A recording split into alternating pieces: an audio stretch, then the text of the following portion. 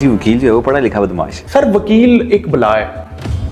इस जस्टिस ने ये फैसला सुनाया था उसकी कब्र खोदी जाए और कब्र खोद के जिस तरह ये ऑर्डर करते हैं ना कि जी सड़कों पे घसीटा जाए उसकी हड्डियाँ तो बची नहीं होंगी उसकी मट्टी को जलाया जाए।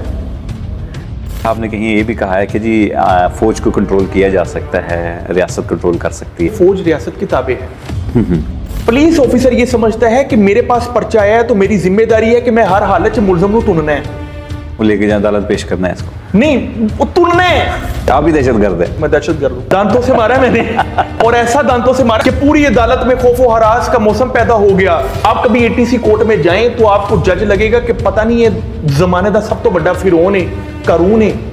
तीन जज जो खुद को फिरौन करून और पता नहीं माउन समझकर बैठे हुए जस्टिस आबा सेठी ने। हाँ। और फैसले में उसने क्या लिखा था? उसने कहा था कि इसको सड़कों पे घसीटा जाए इसकी लाश को। Chief justice Lahore high court के थे अमीर हुसैन भट्टी उन्होंने ये कांड किए कि जो भी उनके खिलाफ काम करता है उसका हाई कोर्ट में दाखिले पर पाबंदी। अगर झूठा पर्चा होता है बस पुलिस वाले को भी न थाड़े अंदर क्योंकि ये पैसे लेकर पर्चा काटते हैं। अगले बंदे की ज़िंदगी उजाड़ देते हैं। पुलिस को खरीद के अपनी मर्ज़ी की वो रिपोर्ट तैयार कर सकता है।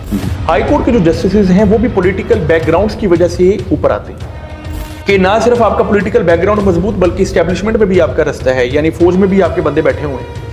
तो वो सारे मिलाकर आपको क्या बनाएँगे जस्टिस फिर आप किसकी बात मानेंगे उनकी? फिर फैसले कौन से होंगे? उनके। अठासी परसेंट झूठे पर्चों की वजह से फेक पर्चों की वजह से जो जज है असल पर्चों पे टाइम ही नहीं दे पा टाइम नहीं दे पा एंटी नार्कोटिक्स फोर्स कर क्या रही है? वो पीने वालों के ऊपर बेचने वालों का पर्चा डाल रही है।